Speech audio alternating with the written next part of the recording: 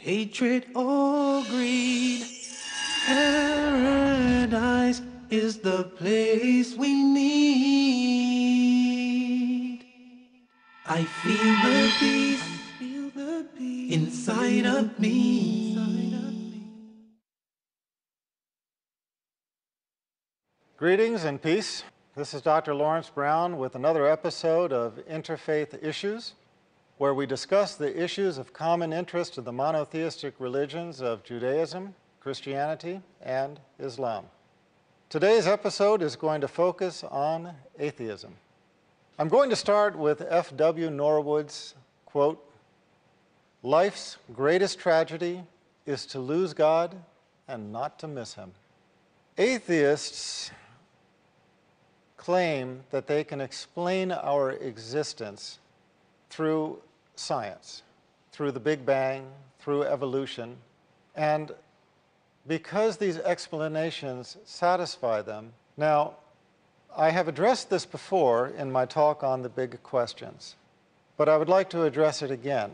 In a nutshell, the problem is that by these explanations of the Big Bang and evolution, science contradicts science. Why? Because it's a general principle of science to believe in the concept of entropy. Entropy is the principle that everything degenerates into chaos unless it is controlled. Unless there is a higher power exerting control over a process, it degenerates into chaos. Now, it does not matter if you are talking about your child's bedroom, the kitchen sink, or a complex chemical reaction. If there is nothing controlling it, it will degenerate into chaos. If nobody picks up the child's bedroom, it will become a mess. If nobody cleans the dishes in the kitchen sink, they will just pile up. And if nobody controls a chemical reaction, it will do whatever it does, sometimes leading to disaster. If there is no control over a process, it degenerates into chaos. And so, over all processes which lead to an organized result, there is a greater power exerting control over it. We are told to believe that the Big Bang, the most cataclysmic event in history, in which all the matter and energy of the universe drew together into a hyperdense core and exploded outward into a universe that is 240 followed by 21 zeros miles across. And this occurred by chance, and this explosion resulted not in chaos, but in perfection, with balanced orbits, with a billion galaxies, over a billion galaxies, none of them colliding with one another, that's a pretty tall tale. At the same time, we are told that evolution was a process by which, through exposure to the primordial elements, amino acids were derived, basic building blocks of proteins, which developed into a single cell organism the single cell organism evolved over millions of years to the various organisms we now have, and that explains the diversity of life as we know it. Again, another process that without a higher control overseeing that process, we would expect to degenerate into chaos, not into perfection. And yet, this is what atheists believe the cataclysmic event of the Big Bang, the millions of years of uncontrolled random evolution led not to chaos, but to perfection. That is pretty unbelievable. It is for that reason that many scientists in recent years have disavowed the concept of evolution and have attached the label intelligent design, a conclusion that none of this could have happened without being overseen by a greater power. Now, there are other issues. For example, Evolution or natural selection can explain the diversity of species. It can explain why horses a million years ago were this tall and now they are that tall. It can explain where the dinosaurs came from and where they went to. It can explain many things. But what it cannot explain is the existence of the soul. If you believe in a soul, where did that come from? And how could that possibly have evolved? If you look at a living organism, all living organisms have something else that is undeniable, and that is life. They have life. Where did that come from? When an organism dies, when an animal dies, the organs are frequently still functioning. Brain death is not always instantaneous. If the organs are still functioning, why is the body dead? Where did the life go to? And where did it come from? We as human beings can transplant almost every organ in the body. We can assemble a Frankenstein-like creature, but nobody can give it life. Not all the scientists in the world can assemble the wing of a gnat. We cannot assemble the smallest organism in creation and give it life. Where did that come from? So the theory of evolution can explain many things, but there are also some quintessential elements to life that it cannot explain.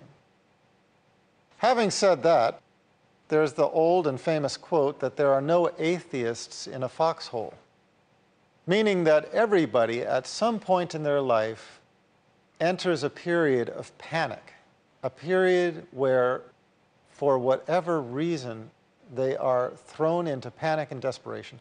And at those moments, you never find anybody calling upon anything except for their Creator. Oh God, help me oh God this, oh God that. But it is always, oh God, even from the lips of an atheist. The English poet, Elizabeth Browning, in The Cry of the Human, had two very beautiful lines. And lips say, God be pitiful, who ne'er said, God be praised. There will come a time when all of mankind stands on the day of judgment, and those who never praised God will ask God to be merciful. They never praised God, but they will ask God to be merciful. How do they expect mercy? From a God they never recognized and never worshiped. The prayer of a skeptic is a good starting place. Those of you who know my conversion story, how I became religious, know that it started with prayer of the skeptic. I didn't know this prayer had a name at that time. The prayer I prayed was, Oh God, if you are there. I didn't even know. I was an atheist. Many people think that I was a Christian and I came to Islam through Christianity. That was never the case. I was an atheist who became religious, searched for the truth, could not find it in Christianity, but who did find it in Islam. I was the atheist who prayed, Oh God, if you are there, because I didn't know. But I did make the prayer. Oh God, if you are there, help me and guide me. And I promised that if God guided me to the religion that was most pleasing to him, that I would follow. And that is a prayer anybody can pray. Call upon our Creator in just that way. Our Creator, if you are there, guide me and I will follow. So we look to the past. We find some famous people speaking on this subject. Francis Bacon, quote, I had rather believe all the fables in the legend and the Talmud and the Al-Quran than that this universal frame is without a mind, stating that he would rather believe everything in all of the books of Scripture than to believe that this vast creation is without a creator. He went on to comment, God never wrought miracle, to convince atheism? Because his ordinary works convince it. The more a person learns about the creation and the intricacies of life, the intricacies of organisms, the more they realize that this could not have happened by happenstance. Again, if we turned the processes of evolution loose, how can we expect them to lead to perfection rather than to chaos? We look at a building, we know that there's an architect. We look at a sculpture, we know that there is a sculptor. We look at a painting, we know that there is a painter. Why is it that when we look at creation, we do not recognize that there is a creator? Well, many people fail to make sense of certain aspects of this life which they perceive as being ungodly. They say, oh, how could there be a God if such and such a tragedy happened? But who are we to question the methodology of our Creator? Yes, there are some babies who die. Then again, there's the old saying, those who God loves die young. Can anybody make sense of that? I can. Makes sense to me. If any human being who was able to cognitively understand the question was asked, what would you prefer now, to continue on in this life or go directly to paradise this instant? And if they understood what paradise entails and what remaining upon this life entails, they would instantly close on the offer. So, can I understand the death of a young person, tragic as it might be? In my viewpoint, that is not a death, it's a transition to the next life, the next existence, which, if it is paradise, only a fool would refuse it. If it is hellfire, only a fool would rush toward it. Now we're going to take a short break. Please stay tuned. We'll be right back. is the place we need. Welcome back. This is Dr. Lawrence Brown continuing this episode of Interfaith Issues. We're discussing atheism, and we left off with speaking about the fact that there are many issues that atheists raise to say how can this tragedy happen and there still be a God? And I was just pointing out that not all tragedies are necessarily a tragedy for the individual. The young person who dies and goes to paradise, if they were asked from paradise whether it was a tragedy that they transitioned from worldly life to paradise, they would be sure to say no. It was not a tragedy. For them, it was a blessing. So it all is a matter of perspective. Another matter of perspective that I think we need to remember is that within this worldly life, it was always God's favorites who suffered the greatest afflictions. It was the prophets who suffered the greatest tests, who developed the patience of Job, for example, because of the afflictions upon them we know the prophets to have suffered greatly in worldly terms. They were humiliated by their people. They were at times tortured. They were at times killed. There, some of them had children who died in their arms.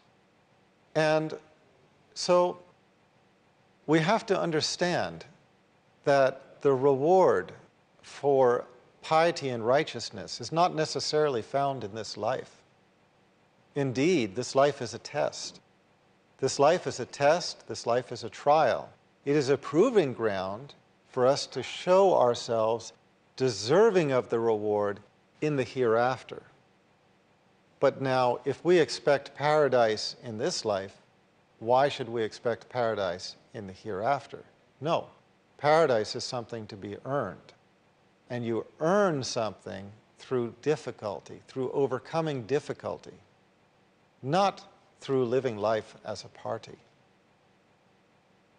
So, remembering that some of those who suffered the most in this life were, in fact, the prophets, the favorites of our Creator, reminds us that there might be a higher logic, a higher understanding to the events that we look at and consider as being tragic. Maybe there is another way of looking at them which makes godly sense. And it is finding that way of looking at them that helps a person to make sense of not only God, but his creation and our purpose of being. One thing I would point out is that nobody, nobody concludes a happy event with a tragedy and considers it a good day. Nobody goes out to a wonderful night on the town, gets mugged at the end of it, and concludes, wow, that was great, I want to do it again. Nobody has the most wonderful of experiences, at the end of which it ends in some horrific tragedy and concludes that that was good. In the same way, we should not look at this life and think of this as a time for play and then find ourselves in the fire in the hereafter. It is not going to be a good conclusion. But as Allah tells us in the Holy Quran, quote, the life of this world is but little comfort in the hereafter. We cannot believe that the transgressors and the criminals, when they suffer their punishment, are going to find comfort from any of the pleasures they achieved in this life. There is not in this life, or at least there is seldom, a free lunch. Everybody knows that if you want to get paid on your job, you have to do the work. If you do not do the work, if you underperform, you get fired. Think about that word and think about what that word means. Where did that word come from? Words do not come from nowhere. A product that is not satisfactory is recycled or destroyed. If we are the creation, we are the product. And if we are not satisfactory, it makes sense that we are the ones who will be in the fire. Again, to quote the Holy Quran, and I have not created, this is Allah speaking, and I have not created jinns and men except that they should serve, and some translations render this, worship me. So that is our job description, our purpose for existence, to serve and worship our Creator. As Francis Bacon commented, quote, they that deny a God destroy man's nobility. For certainly man is of kin to the beasts by his body, and if he be not kin to God by his spirit, he is a base and ignoble creature. So I think it's important to realize atheism as a belief. We recognize it, we know it's there, but we ask God to save us from it. As I mentioned before, if you don't have baseline belief in God to begin with, it's difficult to pray to something you don't believe in. But how will it hurt anybody who is sincere to pray and ask our Creator if He is there? O God, O our Creator, if you are there, Guide me to the religion of truth if you are there. And if you are there and if there is a religion of truth, I will follow. How is that going to hurt anybody to pray that prayer? And if you pray it with sincerity, how is it possible to conceive that our Creator would not answer that prayer? We should rightfully move on from this point to discussing not atheism, but agnosticism. And although agnosticism is not a creed, but rather a method, it's a very misunderstood concept. The concept of agnosticism is not belief in God, but not knowing how to believe in God. No, rather, the concept of agnosticism is agnostis, not knowing, not being able to prove. You know, from the Latin, the A is negating, Gnostic is certain knowledge. It is basically saying that you cannot prove the existence of God. By this definition, which is not the dictionary definition, but it's the definition according to Thomas Huxley, the one who originated the term, by this definition, a person can be Christian, a person can be Jewish, a person can be Muslim, and still be agnostic in the sense that they recognize God, they believe in God, they serve and worship God, but they do not believe that they can prove the existence of God to another. That is something that has to come from God Himself. What brings certainty of God's existence into a person's heart and into a person's mind? Well, religious knowledge is not like other knowledge. It's not purely academic. Of, it is as much a matter of the heart as it is of the intellect. But to have true certainty in religion, that only comes from one place. That is a gift from our Creator. So a person can claim to be atheist, a person can claim to be agnostic and to find those ideologies satisfying. But look, there are many things in life, there are many things in life that are not provable. Gravity. Well, you can drop something and you can find it is still working, but you can't see gravity. By definition, you can't see a black hole, although you can see the evidence that points to its existence. You cannot prove your hunger drive. You cannot prove your headache. You can show the symptoms of it, but you cannot prove it. We arrive at the belief in gravity, entropy, black holes, our emotions, our feelings, and so on because we either experience them directly or because the overwhelming evidence points to them. And in the same way, I would suggest that the overwhelming evidence points to the existence of a creator. A Bedouin once once asked why he believes in God. And he just answered simply, you know, if I see hoof prints, I know that there has been a sheep or a goat. If I see camel footprints, I know there has been a camel. If, and if I see footprints, I know there has been a human being. And if I look at creation, I know that there is a creator. Well, for those who are uncertain, don't try to solve it yourself. Don't agonize over it. Pray for our Creator to solve it for you. Again, oh God, if you are there. Well, in the same way that we accept gravity, entropy, absolute zero, black holes, the hunger drive, etc., etc., I hope we all someday arrive at accepting the existence of God. And should we do so, the next question then is how to travel down the chain of continuity and revelation and arrive at the religion of truth. That is much of what I have spoken about and what I will speak about in other episodes of this uh, series, Interfaith Issues. So I thank you for being with me tonight or today and hope that you will join us next time. This is Dr. Lawrence Brown.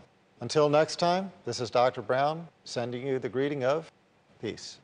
I feel the peace, inside of me, a complete tranquility. I remember.